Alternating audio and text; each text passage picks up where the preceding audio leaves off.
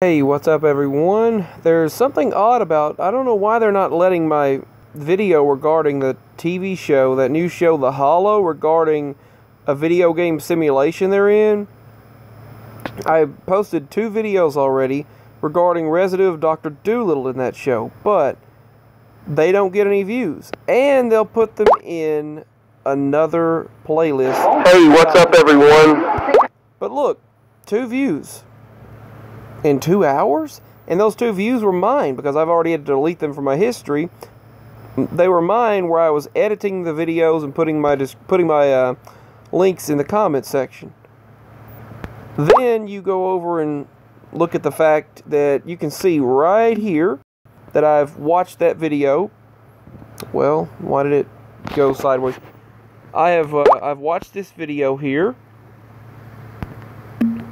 Right there's the bar. Right there is the red bar showing how far I got into the video or whatever when I was trying to I don't I was trying to fix some things in the video.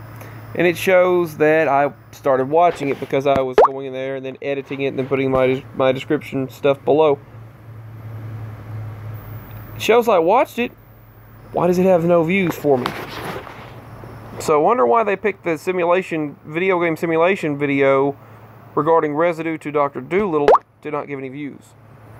To a video game sim. Still, see? I've obviously just watched it again to, to uh, check any type of information. No likes and no views. There's some reason why they don't want this particular video getting any views.